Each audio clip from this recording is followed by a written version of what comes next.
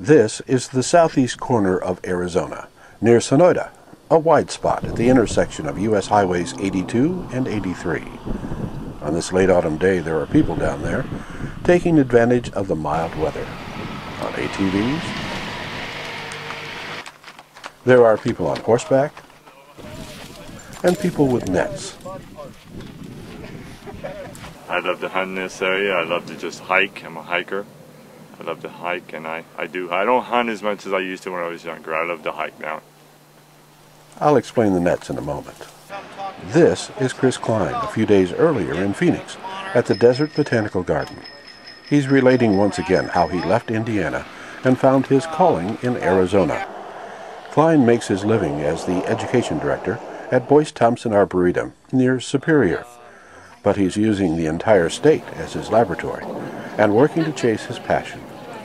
Kline is the founder of the Southwest Monarch Study.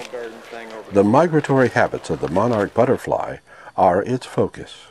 But it's almost like a little mystery because nobody really knows what the southwestern monarchs, where they're going, uh, what their path is, or what their behavior is.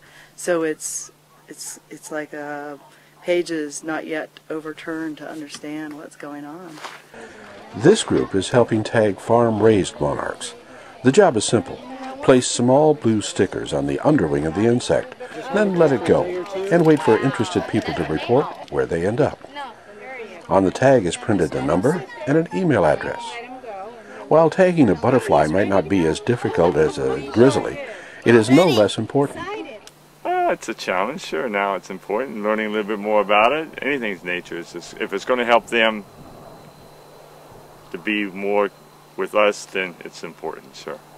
Because you know, there's just so much that we don't know about monarchs here in the Southwest.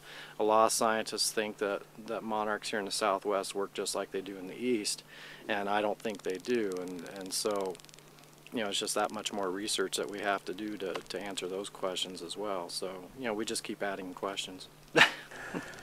Kline is challenging the accepted theory that monarchs who live west of the Rocky Mountains migrate only to the coast of California, while those living east of the Rocky Mountains migrate to a range around Mexico City. Arizona's placement below the Rockies leaves the scientific community unsure where southwestern monarchs migrate, or if they migrate at all.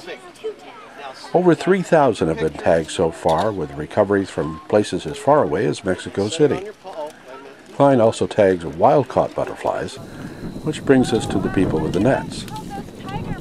Um, I actually, when I was really young, um, read an article about the um, area that they uh, winter in in Mexico and I understand that there is they've got some significant challenges with that area down there um, right now due to some logging issues and, and, growth issues and things like that so I think it's really important for us to know where they're going and why they're going there and why they need those places um, so that we can kind of better understand why we maybe need to protect those places, especially since things are going to be facing new and different challenges with global climate change. Kline often leads groups like this one into the fields to capture, tag, and release these insects. Meticulous notes are taken of every capture to better paint the picture of the animal's trip from here to there, wherever there may be.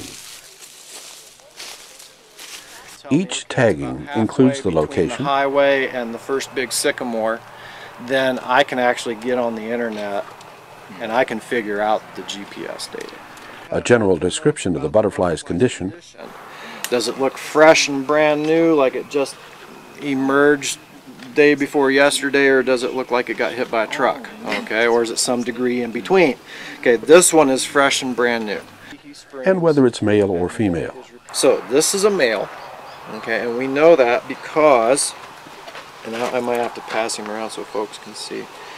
If you look at this vein right here, okay, at the corner of my of my sheet there, you see how we've got a nice smooth kind of bottom line on that vein, and then there's kind of a dark blemish on the underneath side of that vein. Okay, well if we pried that wing open, what you would see on the other side of that little blemish is that big black dot. Mm-hmm. Okay, so once again, so when you're looking at the underneath side, it's a whole lot trickier to tell male from female, but it can still be done. So what we're looking at is that blemish right there at the corner of my little piece of paper. Now, does it matter what side you're looking at?